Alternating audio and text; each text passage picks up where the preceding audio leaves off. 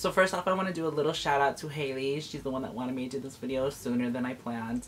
So what's up girl? Today I'm going to do a comparison between two concealers, the famous Tarte Shape Tape and then the Makeup Revolution Conceal and Define. I never used these two concealers before so I'm kind of excited. Hopefully these are similar shades because I bought these at two separate times. I do like a bright under eye. A lot of people are saying that this is supposed to be a dupe for this guy so I'm here to find that out. These are the two concealers side by side. For Makeup Revolution, you get 0.14 ounces or 4 grams. I bought this from Ulta and this is around $7. Usually there's a sale. There's actually a sale going on right now for $4.90, so keep that in mind. And just by looking at Ulta's website, this comes in 24 shades. It looks like they got a great color selection. You got from super light to very dark. And they have a lot of different undertones from pink, neutral to yellow. And I got mine in the color C6. For Tarte Shape Tape, you get 30 shades. Color selection goes actually deeper than Makeup Revolution, which is awesome. Tarte Shape Tape comes in 0.3381 fluid ounces. Great. Which is more than double and this retails for $27. They're both supposed to be very high coverage, so let's find out if they're the same. So this is my bare face. All I have is moisturizer and primer on. I got some circlage going on there. I don't know. But either way, I like to have a bright under eye. So I'm going to apply a foundation that I already know and love. So this is Maybelline Fit Me. This is the matte and poreless one. I actually love both of them, the dewy and the matte. I usually like to mix them. Just keep things simple. So you're going to get a giant foot applicator. Apply this like I would like any other concealer. So hopefully I don't overdo it. Okay, so that glided on so nice.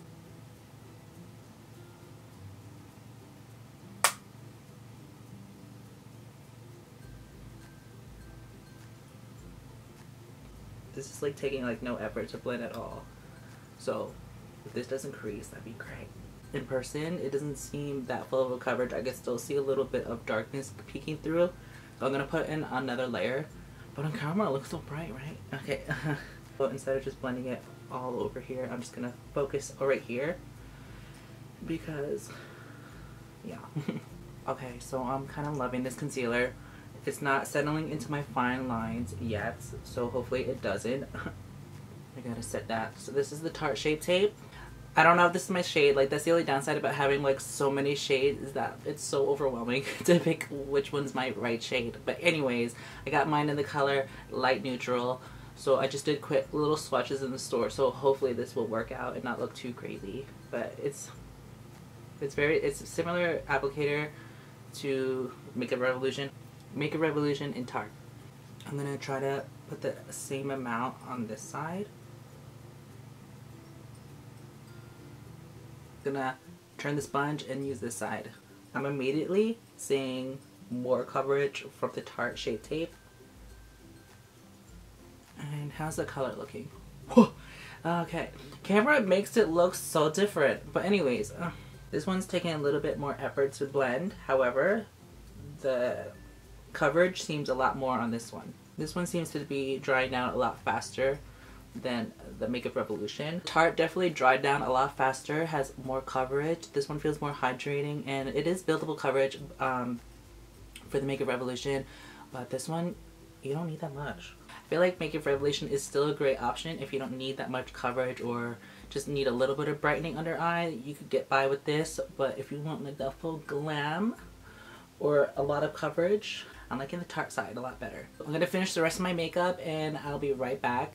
Okay, so this is my finished look. Um, it's a little late. It's 2.48. I don't know if you could tell that. But it's 2.48 p.m. So I'm going to do some check-ins. I've been probably wearing this for maybe an hour. I forgot to look at the time, but let's just say I put this on my face at 2 o'clock. I was looking at different lighting and they pretty much look the same. uh, but they're looking great under the eyes so I'm gonna do in some check-ins throughout the day I don't know how long I'm gonna wear this because I don't usually like wearing makeup on my days off so I'll be back soon Okay, so I got some different lighting. Here's the concealer. They both kind of look the same, if I'm being honest. Um, again, here's a little close-up. Don't mind all this glitter, but this is the Tarte, and then this one is the um, Makeup Revolution. So this one is a little bit more coverage than this one. So, yeah, let's just see how it holds up, though. So it's pretty much five o'clock. So I've been wearing this for about three hours. I keep looking in the mirror and I do feel like they are very similar. However, you can see right here, this is the uh, Makeup Revolution. You can see a little bit of the darkness peeking through and this one looks fine. And this, I don't know if you could tell. Let me, I'm gonna zoom in. Hello.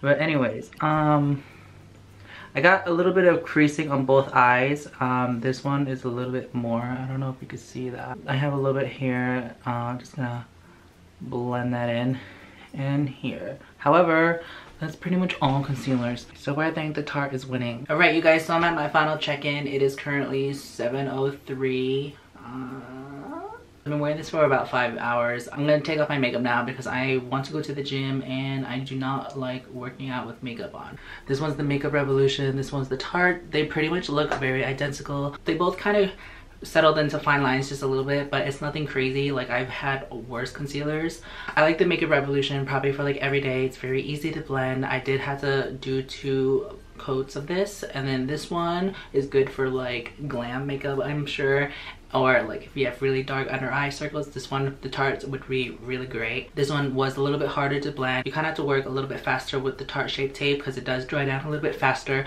than this one. I did have to build this one up. I did two layers.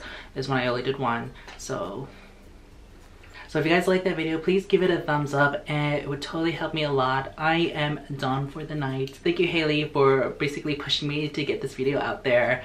Um, it hasn't been three months yet. I'll see you guys in my next video.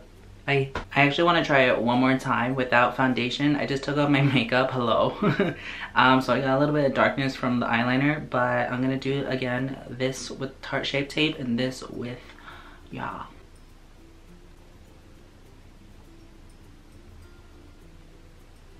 No makeup. I'm gonna wash this real quick. Makeup Revolution. About the same amounts. Hmm. You guys, I'm so beat. These are really almost identical. Interesting. But again, this one was still a lot easier to blend. This one was. This one, I'm gonna go in with the second coat. Yeah, this one is definitely a lot thicker. It has a little bit more tackiness to it.